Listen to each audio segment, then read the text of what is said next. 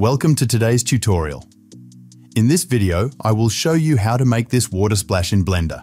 Let's get started. I will use the can that we modeled in the previous video, link in the description. First, let's add the source of the simulation. Add a plane, then go into edit mode and scale to something like this. I will rotate the planet along the x-axis, then place it behind the can. This will depend on the direction in which you want the fluid source to start. I will go into side view and grab the plane to be in the middle of the can. This will help to splash water on both the top and bottom sides. Now we need to add the domain for the simulation. I will add the cube, position it, and scale it to cover where we want fluid to appear.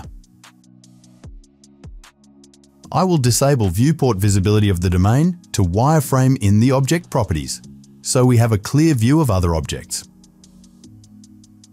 But before we start simulation, make sure the scale of your object is set to 1. You can apply the scale by pressing Ctrl plus A. Now let's start adding fluid to the object. Select the plane that is the source of fluid. Then go to the physics properties, then add fluid change the fluid type to flow, then the flow type to liquid. In the flow source, I will set the surface emission to 6. This will add more fluid to the scene. Enable initial velocity, the source value will be the source velocity passed to the fluid. Normal, this will be used to direct the fluid in the normal direction and velocity. This will be used if your object is aligned on a different axis. To see the normal direction, you can enable it here in the viewport overlays. Here you can see the blue color, which indicates the normal direction. Also, you can enable it while you are in edit mode in the mesh edit mode overlays and check one of these options to display the normal direction of the object. This will be useful if you set your object to align in a different direction. But for this object, I will use the initial Y because I want the fluid to flow along the Y-axis. I will set the initial value to negative 15. Select the can in the physics properties, add fluid, and set the fluid type to effector. Just leave everything default. Now select the domain, then add fluid, but for this one, change the fluid type to domain and the domain type to liquid. I will set the resolution to 128, but this will depend on your computer specifications. The higher the value, the more time it takes to bake the simulation. If you want to add slow motion at a specific frame, you can add a keyframe here in the timescale. I will disable all border collisions. This will avoid fluid collisions with the domain. Enable Fluid Mesh. In the cache setting, I will create a folder for the cache data. I will set the end frame to 100, change the cache type to modular. This will bake every stage of the simulation separately.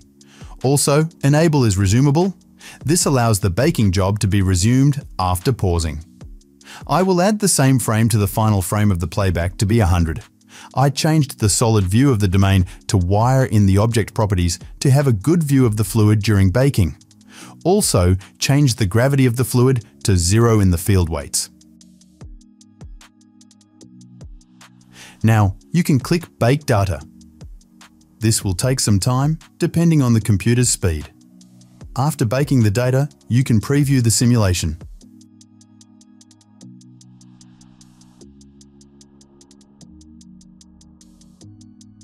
If you're satisfied with the result, now's a good time to bake the mesh. I will set the upres factor to 3.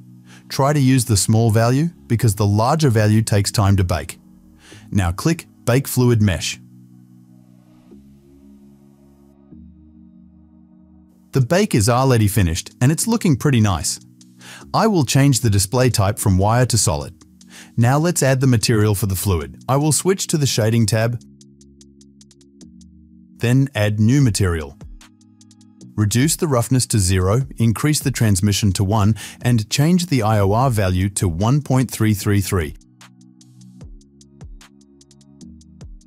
Go into the modifier, then add a smooth modifier. Add the repeat value to 3, then right-click to shade smooth. Now you can add a camera and light. I have used the same scene of light and background that we set in the previous video. If you want to check it out, click on the link in the description.